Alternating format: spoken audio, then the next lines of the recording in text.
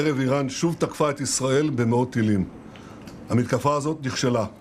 היא סוכלה בזכות מערך ההגנה האווירי של ישראל, שהוא המתקדם ביותר בעולם, ואני מברך את צה"ל על ההישג המרשים. היא גם סוכלה בזכות הערנות והאחריות שגיליתם אתם, אזרחי ישראל.